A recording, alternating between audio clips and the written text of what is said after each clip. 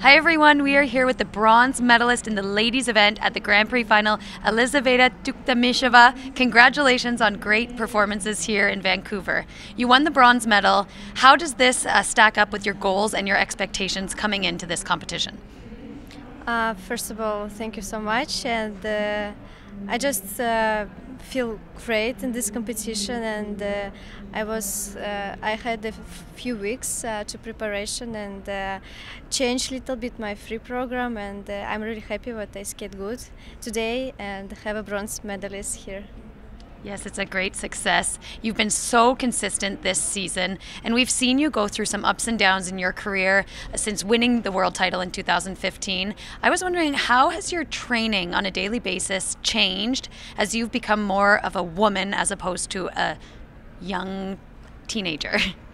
Uh, yeah, true. I have so much experience in my life, in my figure skating life.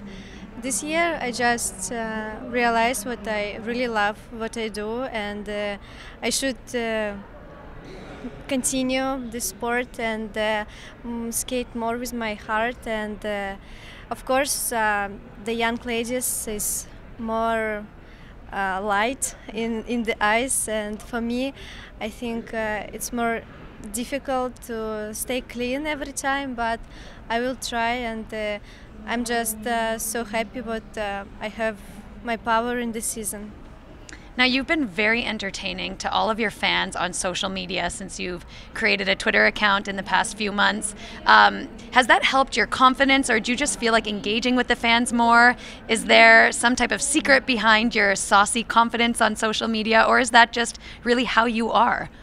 Uh, yes, of course, it's really how I am because uh, I never want to be uh, something else, and uh, I try to be more with the people and uh, more open because I, I uh, understand what everybody wants to speak with figure skating, with figure skaters, and I just want that and be closer with another people, you know.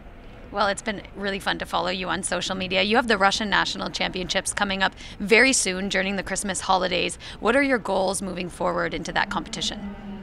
Um, I just want to skate how I can in the training and skate good both of my program and uh, it was good experience here uh, with my new little with my more difficult free program and uh, now I hope that uh, I will good condition in the national championships. And one last question. I'm curious myself, and I'm sure a lot of fans are curious. Are we going to see you try to qualify for the Olympics in 2022? Do you see your career continuing, or uh-huh. do you only see to the next competition or to the next step this season? I see just the national championships. I don't think about the Europe or World. I just or Olympic. Of course, no, I don't think about Olympic Games because uh, it's too hard. Uh, then you're starting to see like four years uh, more, and uh, my step just national championships. I live now, and just now. No, no before, no future. No past, no future. I think that's really smart. It's really overwhelming to live so far into yes. the future. And I completely understand that. Well, I have so much respect for you and the comeback that you're having, and I'm going to be cheering you on for the rest of the season. So, Thank congratulations so here and good luck. Thank you. Thank you.